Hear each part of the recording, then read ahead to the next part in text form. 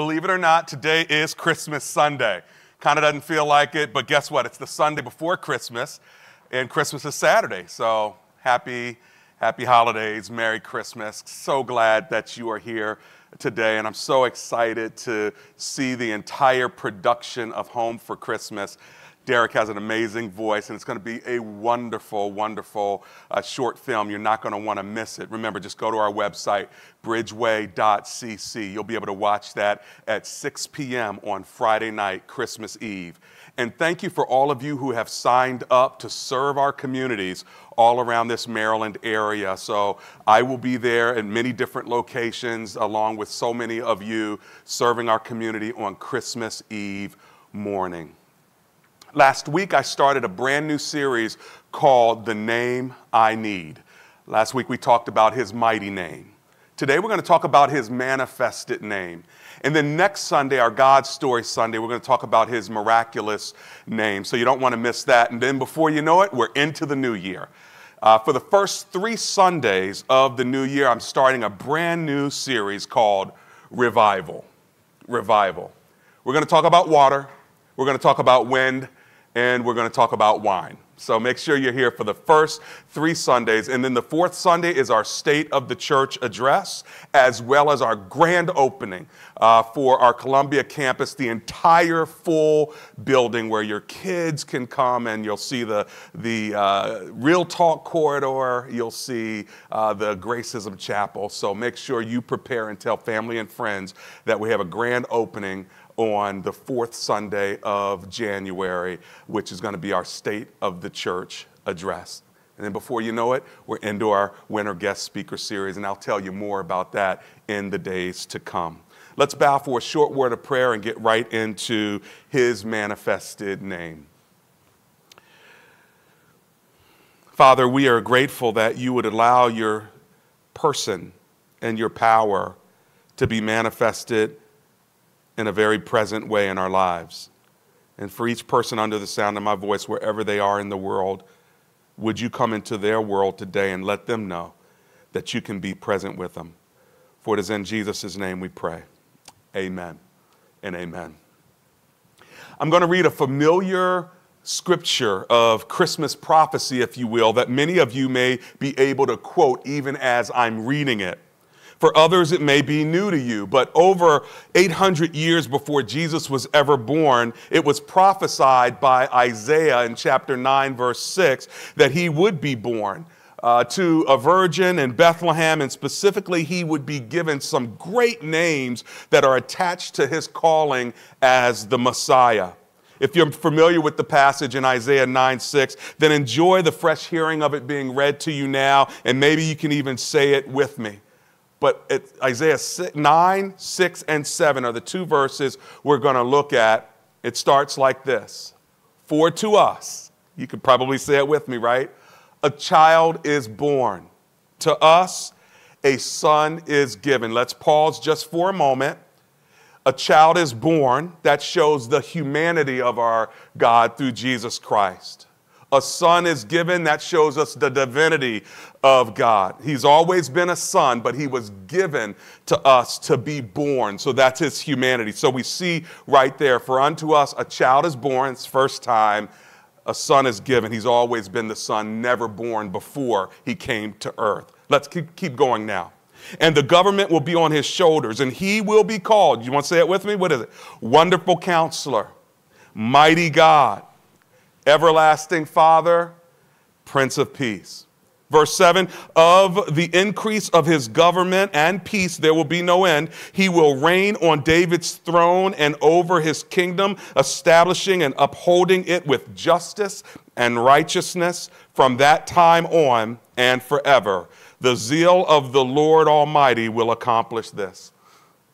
The Jewish prophet Isaiah prophesied that this Messiah would be would be called four great names Wonderful Counselor, Mighty God, Everlasting Father, Prince of Peace. Say that in the chat, just those four names. Just fill the chat with, with those four names. Wonderful Counselor, some of you know him as that. Mighty God, Everlasting Father, Prince of Peace. It looks good just written there, doesn't it? But what is it about the Messiah, Jesus Christ, that would encapsulate all these great names? And is it possible that God gave us Jesus so that whatever aspect of God we needed manifested in our lives would come to pass as we mature in Christ? And is it not true that when we invite Jesus Christ into our lives, we indeed get all of God? When God comes into our life, we get all of God. The question is, does He get all of us? As we grow to mature and become mighty in Christ, to begin to, to get closer to Him, we start seeing new aspects of God manifested in our lives as we pursue all of Him. Now, like I said, when he comes into your life, you get all of him, but as you mature in Christ and as you as you grow in Christ, you begin to see different aspects of who this God is that you have all of. One man stated on my radio show, he says, After 13 years of marriage, I thought I knew my wife. Oh, how naive. He realized that after many more years that he was just scratching the surface of truly getting to know her. Another radio listener said to me, Dr. Anderson, after almost 50 years of marriage, I can say that I have loved every woman my wife has become over the decades. She's grown and she's changed. Here's the point if it takes a lifetime to truly get to know one other person who changes and, and grows and, and matures and transforms, why would we think that we can know all of God in the span of only one human lifetime? We have all of God, but we don't know all of God. This comes with maturity. This comes with seeking. And I believe that we will be learning the manifestations of God all throughout eternity, even when we get to heaven, in the, in the decades and in the years and in the centuries beyond as we get to heaven. He's going to be manifesting different aspects of who he is because he is indeed God. But I believe that we can continue to see the new aspects of God throughout our lives as we press in, as we grow, as we move from dimension to dimension. And I believe that this, this passage we see, we begin to look to see that there's more than just just the names, but God will manifest himself through this Messiah Jesus who will have these four great names. But before we look at these four great names, there's something else that I've seen in the passage that has tended to escape me. So we'll look at the names in particular, but first let's take a broader view to see something that I think might be quite helpful for us as we look at this prophetic Christmas prophecy. These names fall in between two other words that may escape us. Do you know what these two other words are? It's quite profound when you think about it. Like I said, I've often missed it when I read the Christmas passage, but it's the word government. Notice that it's sandwiched. These names, four names, are sandwiched between government that's written in the first phrase of, chap- of, of verse 6 and in the first phrase of verse 7. Let me read it again and see if you pick it up. For to us a child is born, to us a son is given.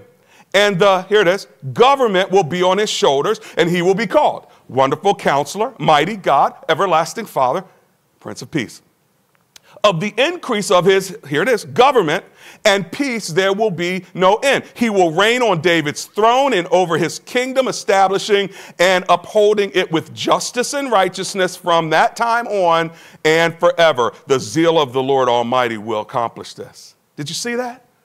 Government mentioned in verse 6 and in verse 7 with those four names sandwiched in between.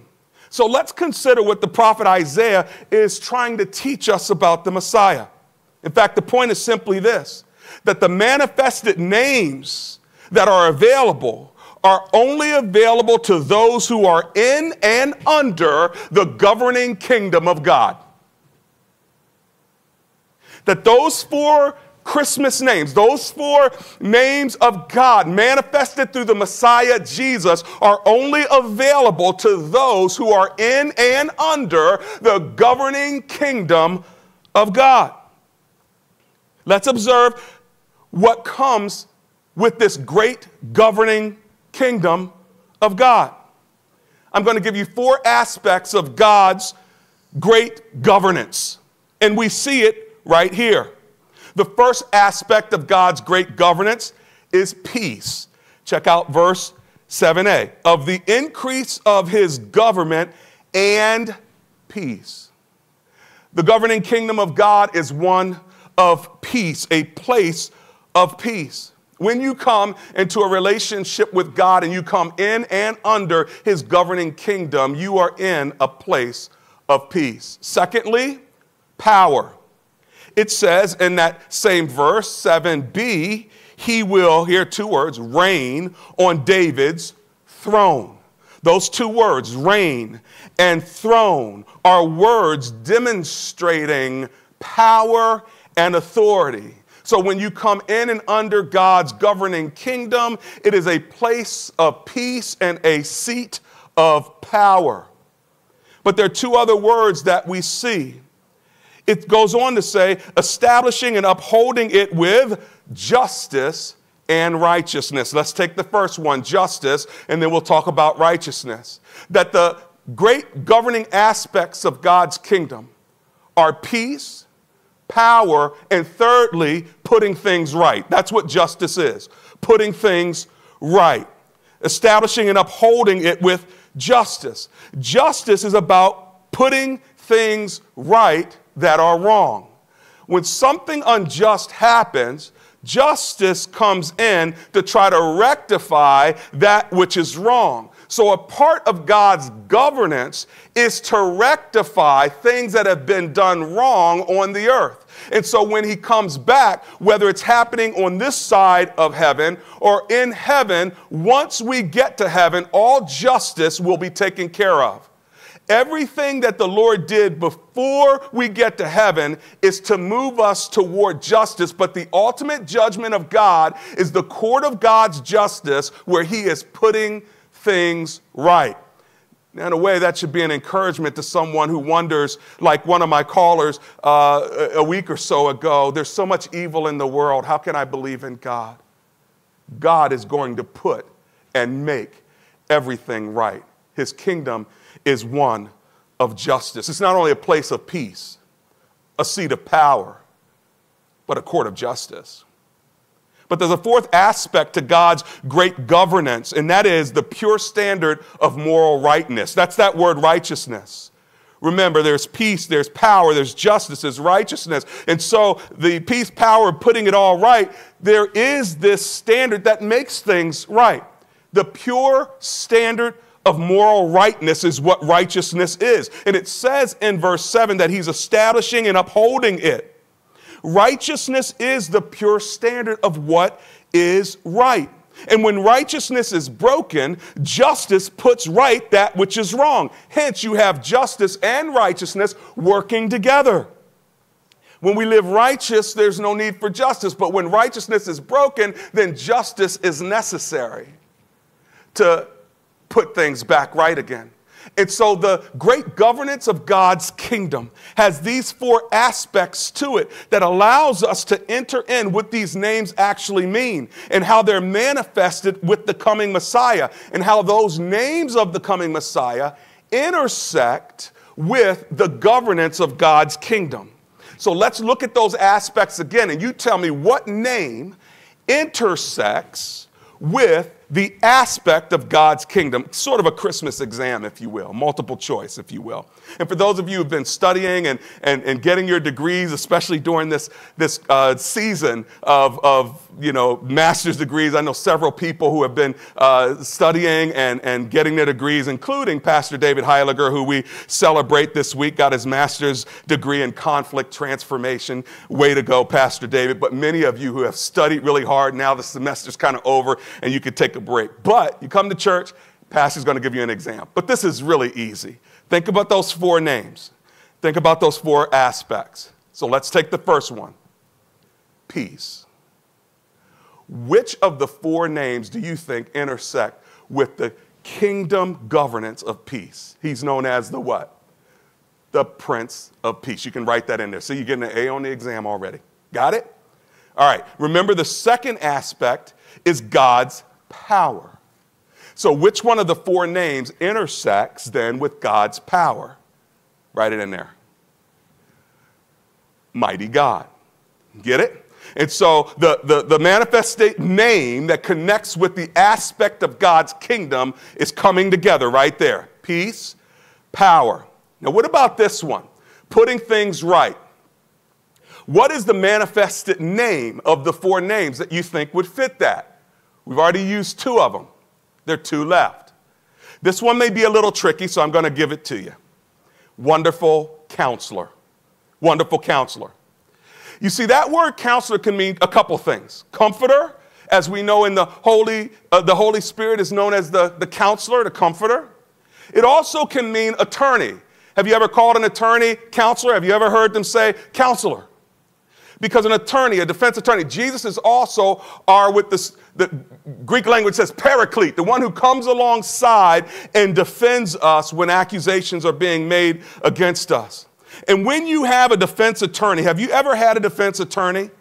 When you have a defense attorney, you are comforted that there's someone who is standing up for you, someone who is defending you, someone who can stand before a judge and begin to plead your case. Wonderful counselor. Jesus Christ is our defense attorney. But when you have a good defense attorney, some of you know what I'm talking about, there's nothing more comforting. When you sit back and they say to you, I got this, it's gonna be okay. We're gonna go in before the judge, and this is what we're gonna say and do. And I'm gonna stand in your place, and I'm gonna do everything. You just sit right there and let me handle this. I will stand with you. Nothing more comforting than that. Jesus is our defense attorney. But can I take it to another level? While having a defense attorney is comforting, I don't know one defense attorney, not one, that would ever say, and whatever punishment is leveled to the client from the judge's bench, I will take. Do you? Do you know any defense attorney that'll take your money? They'll stand before the judge. They'll argue the best they can. But at the end of the day, when the judgment is made, do you know of one defense attorney that says, and whatever the judgment is, I will not only defend you, but I will accept the consequences of your behavior? I don't know one. but Jesus. He's the only defense attorney who defends before a holy and righteous judge, but he is willing to take on the punishment on behalf of the client, you and me. And the sentence that was handed down, that is handed down from on high, is the death penalty. This is why Jesus is our wonderful counselor. I mean, there, there, are a lot of good counselors, but there's only one wonderful counselor. So, did you get that one? Okay, that's, that's how that one connects. What about the fourth one, the, the pure standard of rightness or, or righteousness? Well, there's only one left everlasting Father. You see, the Father's standard is one of pure righteousness. And the wonderful counselor takes on that, that consequence that we have. And as a result of that, we are forgiven. But what the text reminds us is that that forgiveness is held up. It's established and held up. It says in verse 7 forever and ever, for eternity, everlasting. From everlasting to everlasting, thou art God, and his righteousness and forgiveness for you and me as prodigals will have no end, as it says in verse 7. Now, you might say, well, this is, this is good stuff, Pastor, theologically. We can see the manifested names of Jesus intersecting with the great governance of God's kingdom. His kingdom of peace and, and power and putting things right and pure righteousness. Pastor, how do these names manifest in everyday life? personally for, for me right now as I'm on my couch or in my kitchen, in my car, in my bedroom. Well, understand the broader point, friends, that the names and titles that, that are given to the coming Messiah who did come are only available to those who are under the governing power of God. You cannot access the power and the provision of these names unless you are in Christ. When you put your trust in the Christ of Christmas, then these four names that are Christ are intersected and available to you when you are sandwiched in between his governance, just like the verses. Jesus is available to be with you. I'll talk about that next week. But the manifestation of all that he can be in your life only happens when you invite him into your life. You can't know him as mighty God, everlasting Father, Prince of Peace. You, you can't know him like that until you come into a relationship with Jesus. Jesus is the open door to all the other manifestations of God that He wants to show you. That's the beauty of Christmas. It's the gift that you open up that keeps on giving. So you've got to understand that broader point. But still, you might be asking, well, how does this, how does this intersect into my life? Well, this is what I'm going to do. We're going to continue our exam. I'm going to give you four scenarios, and you tell me which, which one needs to be manifested in each story. Let's call the first story the broken hearted man named Andrew. I'm gonna read it to you. A young man came home from boot camp in the military, and his family was so proud of his accomplishments. He subsequently went off to college to study for a few years. Shortly after he entered college, he got word from his family that his father was going in for an unexpected surgery. This military trained and newly motivated college student began to fast and pray, but to no avail. Surprisingly, this young man lost his father to death and his family grieved. What name, prophetic name of God, do you believe needs to be manifested in the life of broken-hearted Andrew? See, now it's no longer a test. Now Andrew actually needs him. What manifested name does he need? Well, maybe he needs a couple of them. I would say, wonderful counselor, not as a defense, but as a comforter. An everlasting father, maybe one that would never leave him. You see, my name is David Andrew Anderson, and that's my story. I needed God in my life and I needed Him to be manifested as my comforter when I was 21 years old and my father just died on us. I mean, it was just a gallbladder surgery. And he came out, and, and the other family members were there at Washington Adventist Hospital, and he seemed fine. And, and we got the, got the communication from everyone you can stop praying and fasting. Dad came out of surgery, and he's doing great. And without only hours later, after my mom left the hospital, she goes, Are you, are you, you okay, honey? To which my mom says, He said, I'm fine. And he asked her, Why are all the, the nurses and they look like angels? They're all in white. And she said, Oh, honey, I don't know. But I'll come back and I'll see you in the morning. You sure you're good? I'm fine. And then once mom got home, she got the phone call to come back because he had passed away. And I got the phone call in Chicago that the one we had just celebrated coming out of gallbladder surgery has died. You see, it's no longer theological when you're in God's governing kingdom and what you need more than anything else is the wonderful counselor to comfort you and the everlasting Father who will never leave you. Well, let me give you a second story, and you tell me what manifested name is here. Maybe this is somebody's story.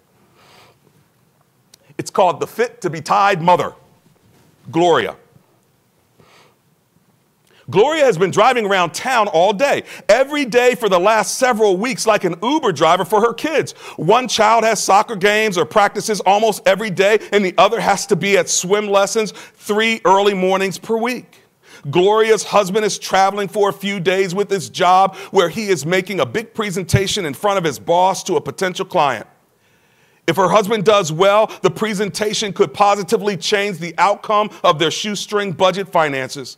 And as she runs the highways and the byways, Gloria tries to remember to pray for her husband while shuffling between kids' sports schedules, school schedules, dinner for the kids, and grocery shopping so she can make a nice dinner for her husband when he gets home tomorrow night. Out of all the times for one of their pets to get sick, one of the family dogs is displaying painful signs of discomfort, and the only time the vet can see the dog is during the one hour she had scheduled to shop for groceries. After dropping off the last child to school and taking the dog to the vet, Gloria only has 35 minutes to get the items for tomorrow's dinner. Once Gloria parks in one of the only spaces at the grocery store that's left, all the way in the back of the parking lot, she unexpectedly breaks down and starts sobbing uncontrollably, feeling overwhelmed.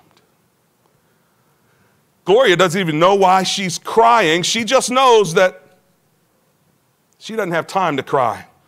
So she mops up her tears and runs into the store. What prophetic name of God do you believe she needs manifested in her life right now? Answer? Write in the chat. Prince of Peace. Like right now, Lord, in the midst of all the craziness, she needs the Prince of Peace to show up. And when you're in the governing kingdom of God, sandwiched in between the governance of an almighty God of peace and power, putting things right in pure moral rightness, right now is where she needs you. Anybody, anybody need the Prince of Peace right now? Maybe, maybe you put that in the chat. Prince of Peace, I need you. All right, let me give you a third one. We'll, we'll call this the Hope Dashed couple, Don and Kate. Don and his, his wife Kate just learned shocking news from the doctor that Kate has cancer. On Friday is when they got the news just a couple days ago. They are devastated by the news. Kate had never had medical issues before. Don and Kate had been faithful followers of Jesus for years and even served regularly in their church.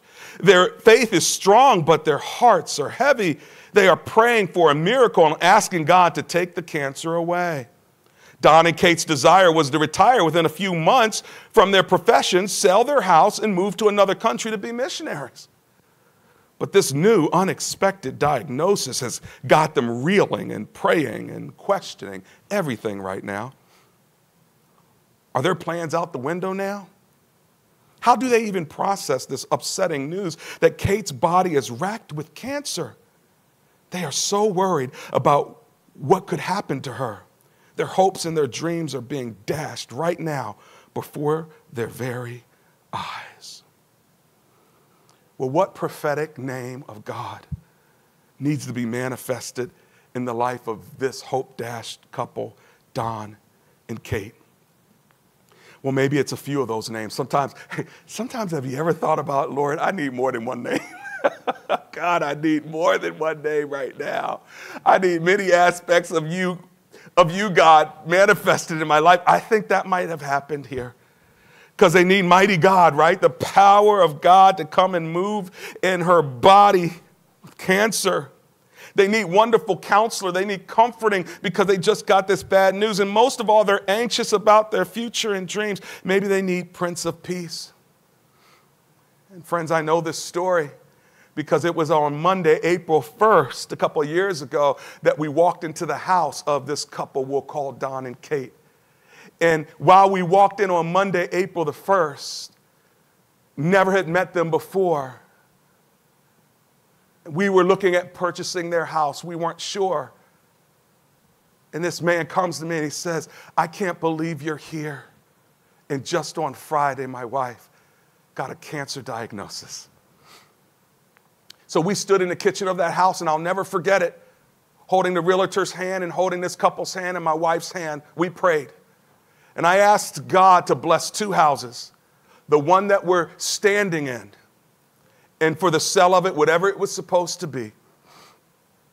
And for her house, the house of her body, that God would reverse the curse and reverse the cancer in her body. That's what we prayed right there in the kitchen. And we prayed it in the name of Jesus. That was on Monday, April 1st. That Thursday, after praying with our elders, I decided to give him a call. And I gave him a call just randomly. I said, God wanted me to, to, to call you. I felt the sense that I'm supposed to call you. How you doing? He, puts, he says, Can I put you on speaker? He puts me on speaker. He's in the car with his wife. He goes, Pastor Anderson, why are you calling? I said, Hey, I just want to check on you. Been praying for you this week. He says, You're not going to believe this, but we're leaving Anne Arundel Hospital right now, and they tell me that my, my wife's cancer is cured. We're on our way to Hopkins right now to get a second opinion. I said, Wow. Well, let me know what happens after you go to Hopkins. So they go to Hopkins. Next morning I call. I said, So what does Hopkins say? And this is, this is what the man said. He says, Dr. Anderson, they don't like to use the word cured. So they just said that my wife is in 100% remission. I said, I don't care what you call it. We asked God to reverse that thing, and He did within a week of the time she got the diagnosis. Somebody needs God to be their mighty God in this moment. Somebody needs God's, God's power to move in their life in this moment. When you're in the governing kingdom of God, you have access to the movements and the power of God manifested only to those who have come through the name of Jesus. I can't say that would happen in every single case, but I'm going to ask every single time. And I'll let God worry about the percentages.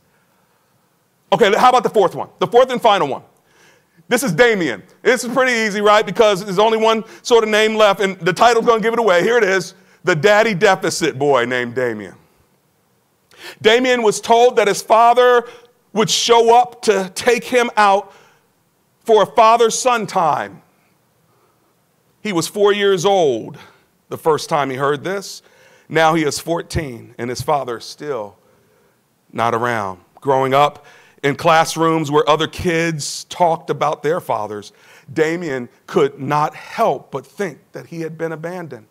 His single mother often tries to find other male role models for Damien to spend time with, but the reality is that this is hard. It's painful for Damien and his mother.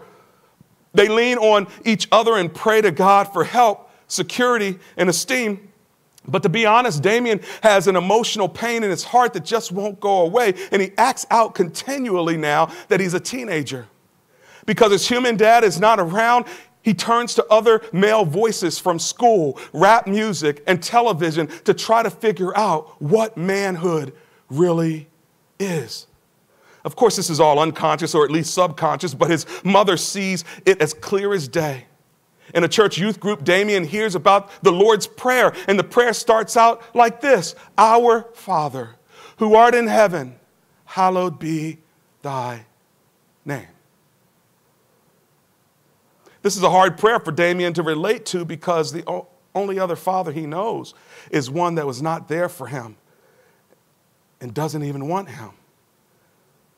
How can he know that God, his heavenly father, is any different?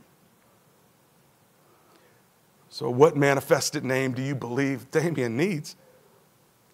Everlasting Father. See, in the great governing kingdom of God, we all need the manifested names of God to bring us peace and power, to put things right that are wrong, and we need His pure moral rightness in our life. And this comes as we grow and we mature in Christ. But let me ask you a personal question. Let's make it personal. What's your story right now? What aspect of God's manifest presence, what name of God do you need in your life? Regardless of your experiences on earth, when you invite Jesus of Christmas into your life, he will manifest himself in a way that meets every deficit that you have on the earth. See, the best thing you can do is come home for Christmas. Experience the manifest presence of God in His governing kingdom so you can live at peace and with the power of God. But how do you need Him to manifest Himself in your life today? You see, He doesn't just manifest Himself as the great governing God of the universe, but He wants you to access Him in the universe of your own personal journey, story, narrative, and life. Can I tell you something? There are many Christians who never or seldom experience the manifest presence of God. Can I say to you, Christians, come home for Christmas. Come back, like, like it said about Peter and John in my message last week, that they spent time with Jesus. Well, maybe you should come home for Christmas. Come back into a relationship with Jesus, like the prodigal son who came home. Come home.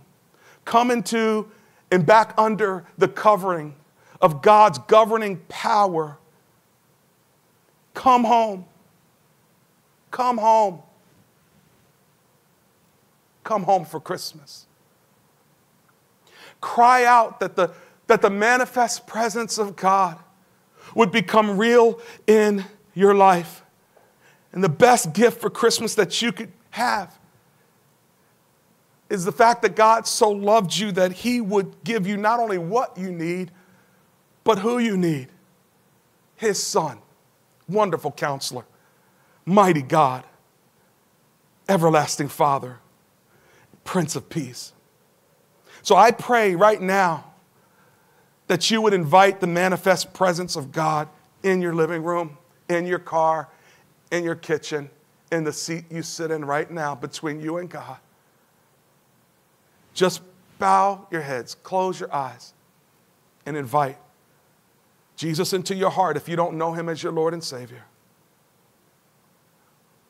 And if you do, that he would manifest himself in many different ways to meet the very need that you have.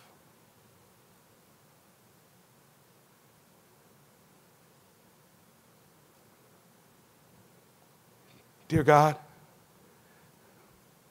I come to you in Jesus' name. I ask you to manifest yourself as mighty God in my situation right now. As wonderful counselor in my situation right now. As everlasting Father in my situation right now. As Prince of Peace right now. I invite you in as my Savior to forgive me for my sins and to come into my life and to save me. Lord, I'm coming home for Christmas. As a non believer, I want to be a believer. Save me.